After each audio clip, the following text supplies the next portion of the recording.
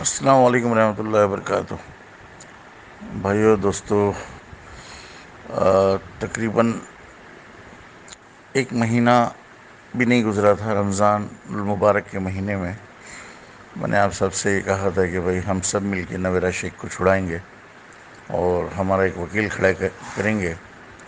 वो कोर्ट में ये कहेगा कि भाई नवेरा शेख पैसा देने को तैयार है। ठीक है भाई? ये बातें मैंने आप लोगों को बताई थी। उसके बाद मैंने चाँद भाई से कहा था कि अपने को अमीन सोलकर साहब से बात करनी है। अमीन सोलकर से बात करने के लिए चाँद भाई के बीपीएन न्यूज़ वाले से ताल्लुक है तो उन्होंने उससे कह दिया कि फ़ोन कर लो। फिर उनके बीच में जो बात हुई, वो वीडियो तो वायरल हो गया किसी तरह से।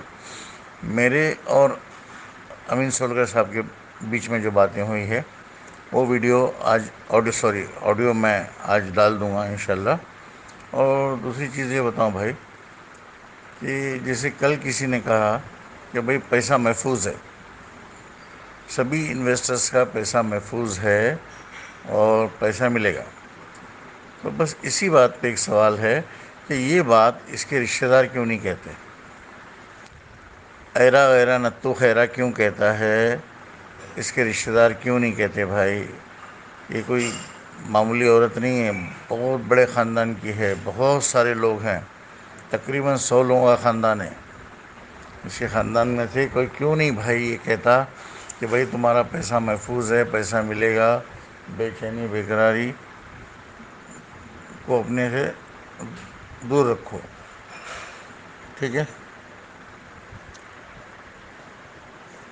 कोई भी ये नहीं कह रहा। अब ये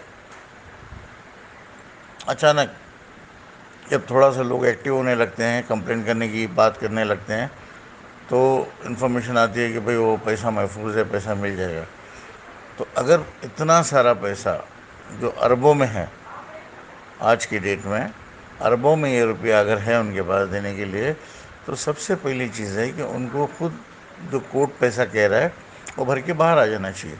क्योंकि बकौल उनके वन परसेंट लोग भी नहीं हैं जिन्होंने कंप्लेंट किया। One percent. ठीक है? नाइन्टी नाइन परसेंट लोगों का कंप्लेंट नहीं है।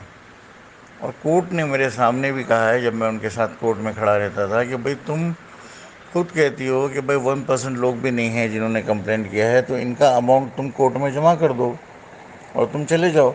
कोई केस नहीं तुम्हारे अगेंस्ट तुम पैसा इनका भर दो।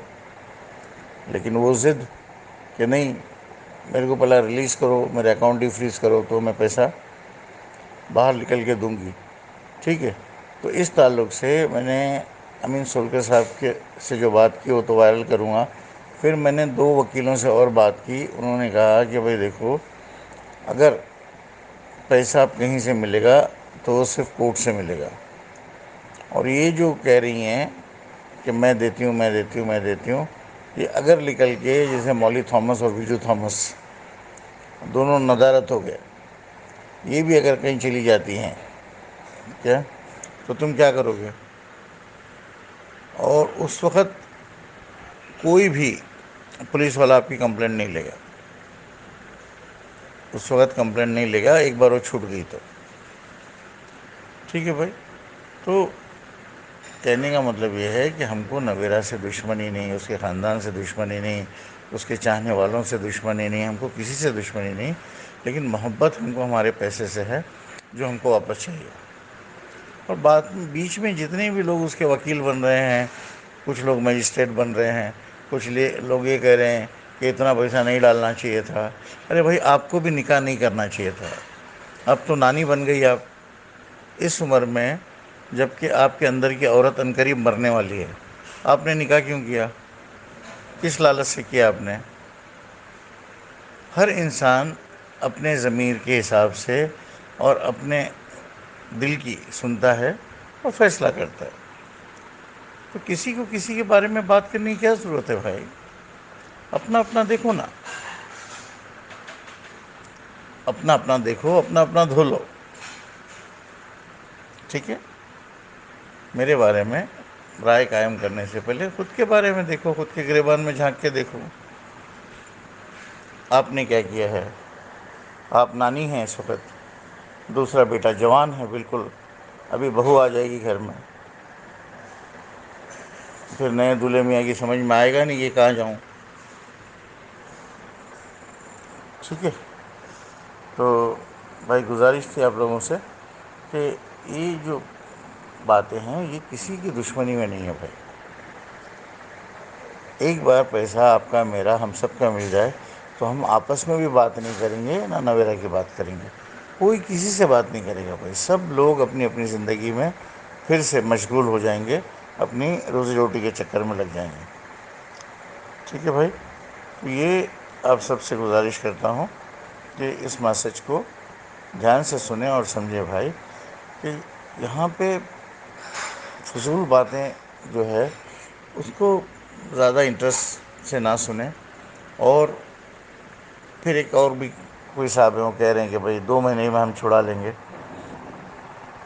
ई डब्ल्यू में भी बात हुई है भाई ई डब्ल्यू में। वो कहता है कि जहाँ जहाँ कंप्लेंट हुई है, जहाँ जहाँ कंप्लेंट हुई है नवेरा की, उसको वहाँ पे वो स्टेट में जाना ही पड़ेगा। मैंने कहा कि सर, वो सुप्रीम कोर्ट में गई है।